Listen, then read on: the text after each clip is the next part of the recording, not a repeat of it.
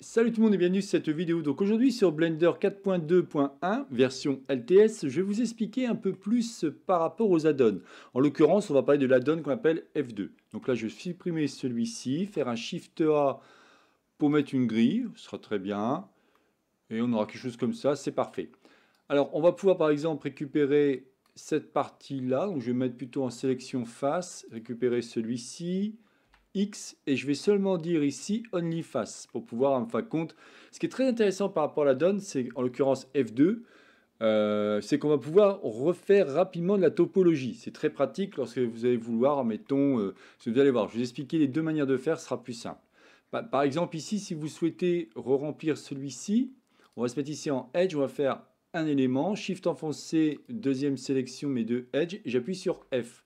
Et on va pouvoir le faire pour chaque élément. Par contre, si je fais F, F, F, F, il se passera strictement rien. D'accord? Alors, ce qui était très intéressant par rapport aux add-ons, donc là, je vous montre la petite vignette au cas où, si vous n'avez pas vu ma première vidéo sur les add-ons, parce qu'il y a des trucs assez bizarres hein, quand même. Hein. Vous avez en premier ici add-on, donc là vous allez accéder, et c'est bien marqué ici, sauf ceux qui sont activés actuellement, ou seulement si vous préférez. Si je décoche celui-ci, je vais avoir une multitude d'add-ons qui apparaissent ici. Mais en fin de compte, ce qui est assez fou, c'est que vous en avez d'autres. Vous en avez par exemple ici, c'est marqué Get Extension. Et là vous avez une multitude d'add-ons, donc là si je fais ça, regardez, vous avez soit les add-ons au niveau par thème, soit ici, par, en fin de compte c'est filtré par add-on ou par thème, simplement. Donc je vais laisser tel quel. Et vous pouvez voir ici qu'il y a quand même une multitude. Donc ils ont fait en sorte vraiment de décorréler ou de séparer les add-ons installés, les add-ons qui sont en cours d'installation. Bon, c'est un choix. Hein. Euh, on va dire que ceux-là, en fin de compte, ils vont être installés, mais grâce à, euh, quand je vous reviens ici en système, grâce à ça, en tout cas c'est ce que j'ai compris, grâce à Network. Par contre ici, quand vous allez dans Add-on, si vous décochez Even Only, ça ce sont les add-ons qui sont natifs. Alors là aussi je me suis fait une petite frayère parce que quand vous venez ici vous avez les moteurs de rendu Heavy, Workbench et Cycle. Et je me suis dit tiens qu'est-ce que c'est que ça? Je vais décocher celui-ci. Et puis d'un seul coup je viens ici c'est... Bah, mon moteur de rendu Cycle avait disparu. Heureusement, quand vous décochez celui-ci, vous revenez ici sur Cycle et là, pas de souci. Bon, revenons maintenant à ce qui nous intéresse, c'est en l'occurrence l'add-on F2. Quand je viens ici, je vais venir ici, je vais taper grand F2, vous voyez qu'automatiquement, on me propose d'installer celui-ci. Je vais cliquer sur Installe. Il est déjà installé, c'est cool.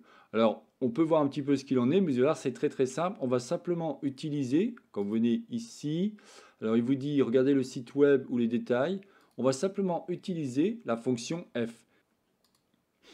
Quand je viens ici dans Vertex, vous l'avez ici qui s'appelle New Edge Fast from Vertice. Et vous allez voir que l'intérêt, alors c'est assez simple, hein, mais si je dirais que c'est un, un raccourci pour gagner un peu de temps. Là, je vais cliquer ici, je vais appuyer sur F, vous voyez, je vais faire ça directement, et rapidement, en cliquant, on va pouvoir remodéliser celui-ci, ou reconstruire celui-ci. évidemment, il ne faut pas vous tromper, hein. donc je reviens en arrière, quand je viens ici, vous voyez, on peut faire ce genre de choses. Ok, donc faisons autre chose, on va supprimer cette forme, on va faire Shift A, on va mettre ici une grille, Très bien, parfait. On va supprimer des parties, donc on va se mettre ici en mode face. Alors comme j'ai dit, hein, ça va servir en fin de compte beaucoup pour tout ce qui est topologie. Par exemple, vous avez fait un monstre qui va être en high poly, c'est-à-dire une grosse résolution, et vous allez vouloir refaire par-dessus une résolution beaucoup plus, euh, bah, d'une part avec des quads, pour quelque chose de plus intéressant à travailler avec la texture UV et ainsi de suite, mais ça va servir à ça. Donc là, vous voyez, on a un autre exemple. On aurait, imaginons ce genre de choses, on va Normalement, ce qu'il faut faire, c'est ici appuyer sur le premier. Enfin là, en fin de compte, vous ne pouvez pas. Il faudrait en fin de compte recréer ici différents éléments. Donc il faudrait prendre ici le edge, récupérer celui-ci, mais avant il va falloir créer ici un edge entre les deux, donc en se mettant en mode vertice, enfin, ça va être un peu contraignant. Maintenant, évidemment, grâce à la donne F2, si je viens ici, j'appuie sur F, hop, ça me ferme directement. Et si je continue, ce qui est génial, c'est que voilà, ça va hyper vite. Ça, c'est vraiment génial. Voilà ce que je voulais vous dire par rapport à cette vidéo. Bien entendu, si vous êtes débutant ou débutant par rapport à Blender, je peux vous proposer une première formation qui vous apprendra les bases par rapport à Blender. Il suffit de cliquer ici sur le lien de présentation, vous verrez que vous avez tuto Blender 4X et je vous apprends à modéliser tout ce que vous voyez dans cette scène. À la fois au niveau des petits personnages, le pain d'épices, la bouteille, enfin, on va utiliser des primitives de type curve, de type mesh, on va faire un peu de sculpture, faire pas mal de petites choses sympas qui vont vous permettre d'avoir déjà un bon début, de bonnes bases pour pouvoir continuer à jouer avec Blender. Vous avez 5 heures de vidéo, à peu près 5 heures de vidéo pour euh, presque 12 euros. Voilà, bah écoutez, je n'en dirai pas plus par rapport à cette vidéo. C'est donc la chaîne Savoir pour tous, réalisée par Jean-Michel. Si vous avez aimé cette vidéo, n'oubliez pas de liker ou tout simplement vous abonner à ma chaîne.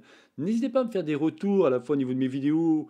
Euh, j'ai maintenant presque 800, un peu plus de 800 vidéos sur ma chaîne YouTube ou alors par rapport à mes formations, puisque je fais pas mal de formations sur Blender et d'autres logiciels. Il n'y a pas de problème, je me ferai un plaisir de vous répondre. Je vous souhaite une bonne journée et à la prochaine vidéo. Bye bye